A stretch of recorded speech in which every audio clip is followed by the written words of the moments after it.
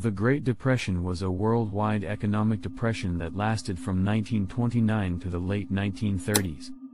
It was the longest, deepest, and most widespread depression of the 20th century, affecting both industrialized and non-industrialist countries.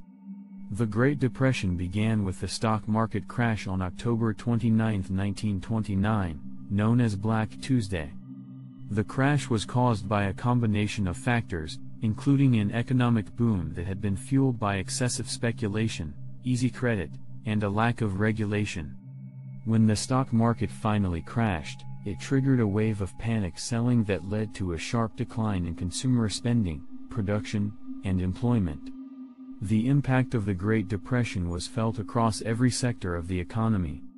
Industrial production fell by more than 50%, and unemployment rates soared to unprecedented levels.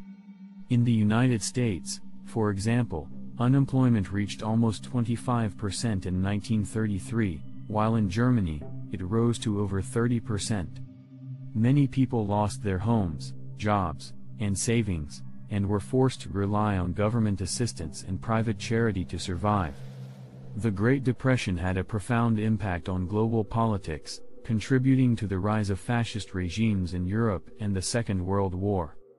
In Germany, for example, the economic crisis created a fertile ground for the rise of the Nazi Party, which capitalized on people's fears and frustrations to gain power.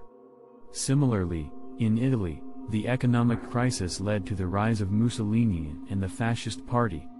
In the United States, the Great Depression led to a series of reforms and policies aimed at stabilizing the economy and protecting workers and consumers.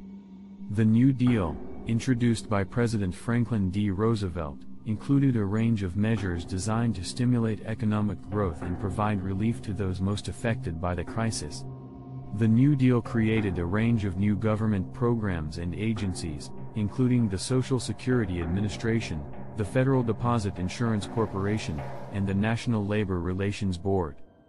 Despite the efforts of governments around the world, the Great Depression continued to have a profound impact on global economics and politics for many years.